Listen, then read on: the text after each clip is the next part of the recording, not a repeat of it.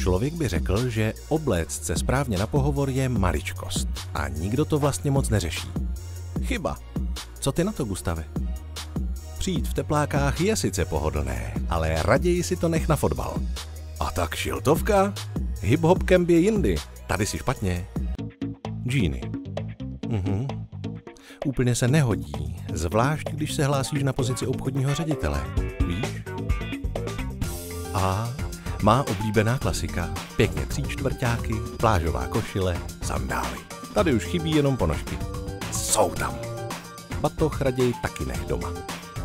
Oblekem rozhodně nic neskazíte. Možná jen zvažte, zda je nutný. Pokud se hlásíte na pozici operátora výroby nebo na brigádu v cukrárně, nechte si ho raději na ples. Čisté boty, slušné kalhoty, pěkná košile. Ani ta kravata být nemusí. Styl business casual je dobrá volba. Místo košile si klidně vem svetr, v zimě obzvlášť. Ten s vánočními soby je ale samozřejmě mimo mísu. Elegance, styl, čistota.